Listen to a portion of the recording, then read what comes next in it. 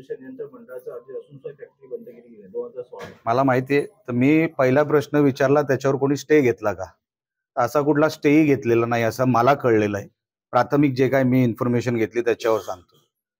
जेव्हा स्टे घेतलेला नाही म्हणजे तुम्हाला लक्षात येईल की आठ वर्ष गेले.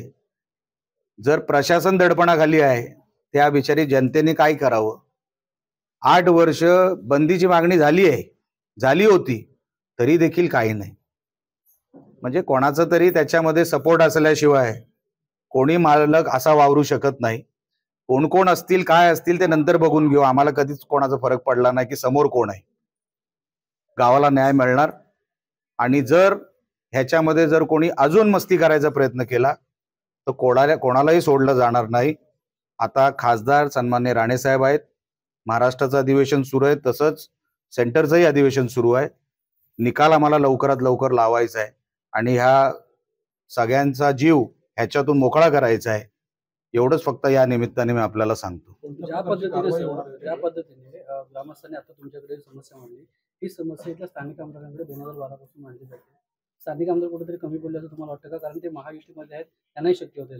कोण. मी कोण कमी पडलं कोण जास्त पडलं ह्या आर्ग्युमेंटमध्ये मी जाणार नाही. गावानी माझ्याकडे बघितलं त्यांना असं वाटलं की हा सोडू शकेल. म्हणून मला बोलवलं. आता प्रत्येकाने त्याच्यावरती काम केलं असेल कोणीच केलं नाही असं माझं म्हणणं नाही. प्रत्येकाने आपापले प्रयत्न केले असतील. पण कोणतरी माझ्यासारखाच लागतो काहीतरी वेडवाकडं करायला. आणि ते वेडवाकडं हाच करू शकेल असा गावाचा कदाचित समज असेल.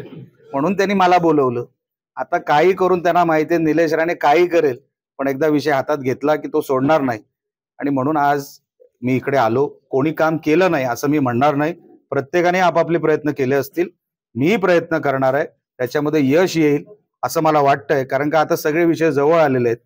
शंभर टक्के आपल्याला याच्यातून यश येईल. कोणत्या प्रकारची कारवाई होईल पुढे? जसं मी तुम्हाला सांगितलं पोल्युशन बोर्डाचा प्रदूषण बोर्डाचा जो रिपोर्ट वरती जाणार आहे. मंडळ अधिकाऱ्याला विचारलं त्यांनी एक रिपोर्ट वरती पाठवायचं ठरवलं आहे. ते रिपोर्ट दोन दिवसामध्ये जाणार आहेत असं मला कळलेलं आहे. ऍग्रिकल्चर म्हणजे इकडे कृषी अधिकारी पण आलेले आहेत. जी काय भरपाई द्यायची आहे ती पंचनामा झाल्याशिवाय ती भरपाई देता येणार नाही. तर त्यांना मी आज तेच सांगायला आलो की तुम्ही अगोदर पंचनामे करा. ज्यांचं नुकसान झालंय त्यांना भरीव अशी नुकसान भरपाई मिळाली पाहिजे. कारण का ते कृषी विभागाचं काम आहे शेतामध्ये पण पाणी घुसलेलं आहे. तर हे सगळे पंचनामे येणाऱ्या आठवड्याभरात म्हणजे हे दोन्ही रिपोर्ट आणि तहसीलदार आणि प्रांत जसं मी तुम्हाला बोललो हे त्यांना फार महत्वाची कामं मुंबईमध्ये असतात. ते जागेवर नाहीयेत. त्यांना पहिले जागेवर आणावं लागेल. त्यांना जागेवर पहिला आणतो. आणि मग त्यांच्याकडून जे काही रिपोर्ट जाणार आहेत तेही एकदा त्यांना विचारतो. आणि येणाऱ्या आठवड्याभरात हे सगळं पिक्चर क्लिअर होईल. मी तुमच्यासमोर हे मांडीन. लोकशाही मराठी. ऐका पहा जागरूक रहा.